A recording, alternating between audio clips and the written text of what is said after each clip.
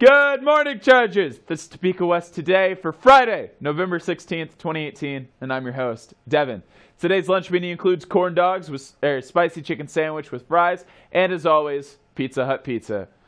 Uh, do you play an instrument or looking for another performance opportunity? Do you love to sing or dance, or are you just looking for the next audience? Take a look at the auditions and tech sign up for this year's musical, Pippin. Auditions are right after Thanksgiving break, and you'll want to be prepared.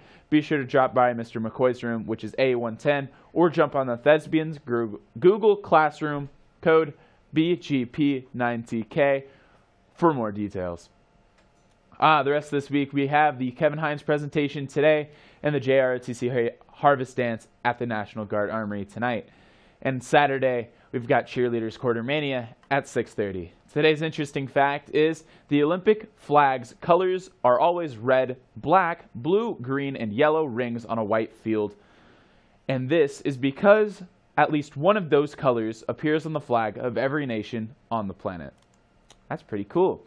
Well, that's it for me. Have a great day and a great weekend, Chargers.